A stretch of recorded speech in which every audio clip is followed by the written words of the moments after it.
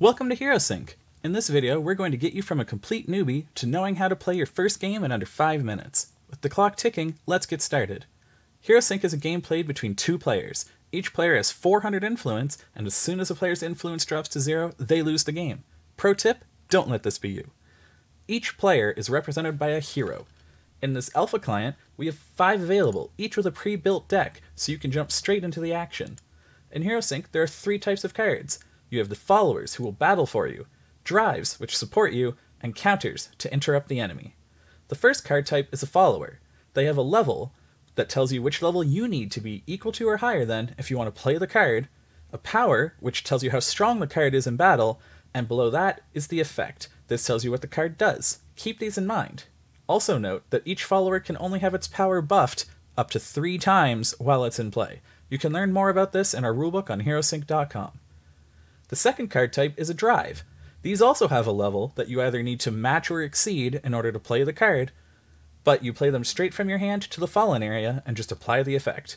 These are one off effects, so when you play one, just do what it says in the text box and send it to the fallen area. The last card type is a counter. These are prepared.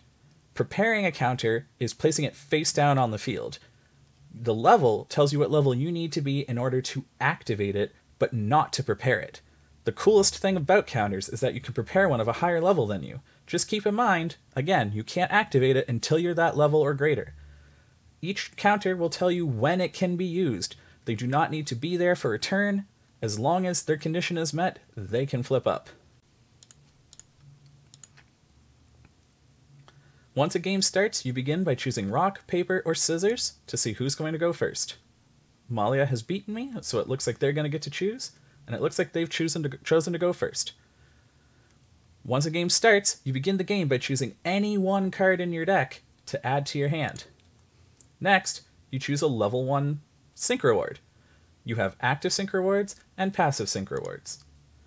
After you've chosen your sync reward, you draw the rest of your opening hand. Sync rewards are powerful effects you gain each time your hero levels up. Choose wisely and don't forget you have them, they're very strong. You have three follower slots and two counter slots. Drives don't use any slots, so you can always play these. During your turn, you can play as many cards from your hand as you want, as long as you have an open slot and your level is equal to or greater than the card you want to play. Lastly, your hero has sync rewards. These are either passive or active. You can use an active reward once per turn. Passive ones are always on and in use. If you go first, you can't attack on your first turn. Please note you can play a follower, attack, then play more followers and attack again. Just remember each follower can only attack once per turn. Looks like Malia didn't have any other followers. I'm going to play my follower, and I'm going to attack. When a follower dies, the controller loses influence equal to 10 times its level. When two followers battle, the bigger one always wins. Killed followers go to the fallen area, and if two of them were tied in power, they're both killed. Followers are considered killed if they leave the field and go to the fallen area. If your opponent has no followers, you can attack their hero directly. Then you deduct your power from their influence. As I don't have another level 1 follower, I don't have anything to attack with here, but if I did, it would just be as simple as this, and Malia's influence would decrease accordingly, in this case by 30. After each player has played a round, both players level up, and you choose one of your level 2 talents. Then, the cycle continues until one player has reached zero influence. And that's it. Everything you need to know to play. If you have any questions or need any help, please come over to our Discord server where we have a great group of guys ready to help out. Share in our greatest victories or even listen to your baddest beat stories. We look forward to seeing you in game. Thanks for watching.